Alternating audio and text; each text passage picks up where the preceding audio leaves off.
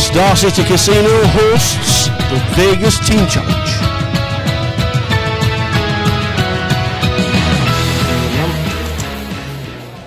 Has just announced all in.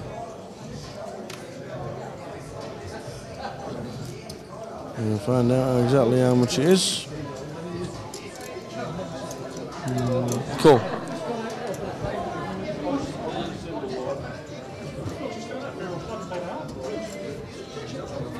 Here comes a flop.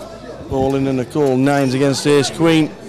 Ace queen can hit a 10 or an ace or a queen. And the river card. Here's a five. The nines hold up and we've just lost Kevin Lamb. Kevin Limp has just been eliminated just like that. And we're now on the bubble for the prizes, guys, as Kevin, who sat there and sat there and sat there, calls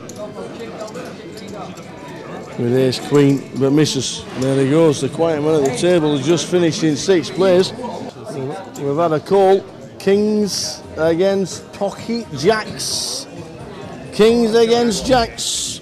Greg's all in with Kings. Flop is 9 8 5. No help for the Jacks. The turn card is an ace. No flush draw there. Here comes the river.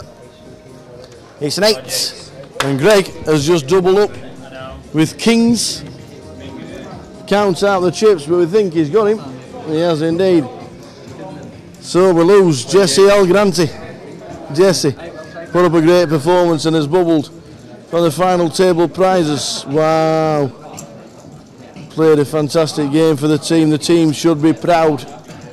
King 5 against Queens. Mark Deacon's got the Queens. Here comes the flop. The flop brings 8, 6, 4. No help for the King 5 at the moment. A 7 would be nice. A 7 or a King. The river is a 3. And we've just lost Richard.